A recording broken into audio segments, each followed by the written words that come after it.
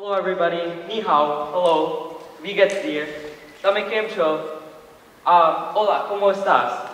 How's everybody doing tonight? I'm gonna need a little help from the crowd tonight. By a raise of hands, how many people in this crowd are fluent or in the process of becoming fluent in a language other than English? Wow, that's... For all the hands I see in the crowd tonight, it's safe to say that the people in this crowd are very diverse and communicate in different and interesting ways. After all, language at its core is just communication. Um, a little bit of, oh, let me skip through this. a little bit about me. I became very interested in languages around the age of 9 or 10. I remember in my class, uh, I remember my classmates would become perplexed when I would switch languages mid-sentence or talk to my mom, my dad, and my brother in different languages. Uh, for me, it was quite common. In India, um, there's 22 official languages, many with common mutuality and understanding. It helped that my parents had such an interesting past.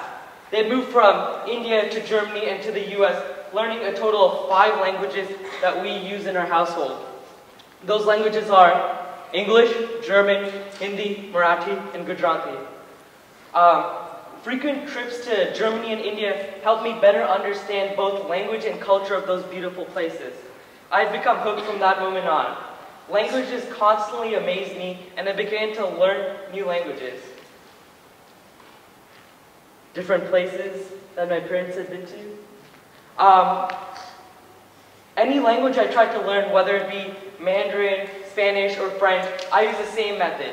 I would learn the 10 most common verbs, nouns, and adjectives, and I found myself saying so much by learning just so little.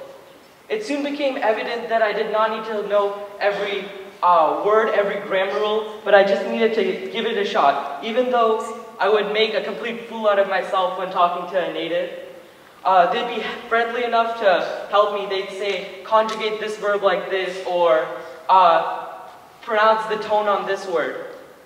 As you, could take, as you can see in this graph, uh, you do not need to know every word to be able to speak a language. You only need to know about a thousand words to be 85% fluent in a language. And 3,000 words gives you the whole 98% spectrum. I would often share uh, my interests about languages to my peers, and I'd get the same reply. Why should I learn? Well, the answer became quite clear. There are four main reasons of learning a language. The first being economic and financial endeavors, or in simpler terms, making money. Uh, the second being understanding different cultures, having a heightened sense of um, knowing about knowing what different cultures are about. Uh, the third being an enrichment of personality, and the last and one of the most compelling reasons, in my opinion, an expansion in mental capacities. A quote by Nelson Mandela sums it up quite nicely. It goes something like, if you talk to a man in his, uh, in his second language, it goes to his head. But if you talk to a man in his native language, it goes to his heart. And that was really one of the biggest motives of learning languages for me. Um, according to a graph, uh, according to a study done by The Economist, it shows the different accumulated language bonuses of three different languages, German, French, and Spanish. Uh, it was really simple. Learning languages can add on to your payroll.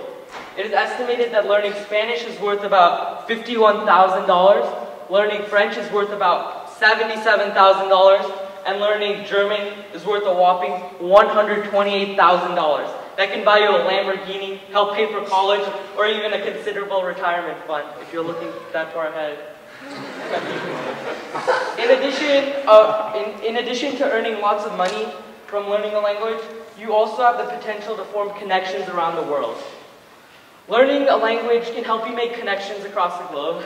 An example is Arabic. Arabic is a widespread language which is spoken in over 22 countries throughout the Middle East and North Africa. Another popular language is Mandarin. Mandarin is so popular for its uh, wide speaker base with over 1 billion people across the world speaking it. Now, if there's so many speakers, you're bound to make a lot of connections in the world. These connections, these connections in the world uh, help one learn about different cultures and uh, they help people see from different perspectives and viewpoints that they would seem that would seem odd otherwise. Uh, this leads us to the topic of cultural diversity. Uh, culture is deeply rooted in any language, and learning a new language would open us up to different cultures. According to a 1989 study by Bamford and Mizokawa, uh, it shows that learning a new language, uh, learning a new language People who learn a new language uh, develop more positive attitudes towards those of different cultures. Whoops. Uh, in addition to cultural diversity, learning a language also can help expand mental capacities. Uh, in a study done by York University in Toronto, Canada, shows students who learned a foreign language scored higher on standardized tests than those who did not, and also help reduce the chances of onset dementia or Alzheimer's disease. As you can see, stressing about the SAT right now, it gives me a little, it makes me a little more calm knowing that I have an extra step above people. Uh, uh, Judith Kroll, a distinguished professor of psychology at Penn State, says that you can, you can learn several skills from just learning a language, such as multitasking, uh, working on multiple projects, and managing other people. It's really interesting. Um, taking a look at the crowd tonight, a room full of distinct, oh, whoops, sorry. Uh, our, our world is changing around us. Uh, the theme for tonight's TED Talk is an essence of a changing world. Cultures across the globe are coming together and interacting with one another. Our economy is becoming global. Travel's never been much easier. Uh, it's really, it's really astounding what we've come to today. Um, I suggest each and every one of you to go home and try to learn a couple of new words in any language that intrigues you.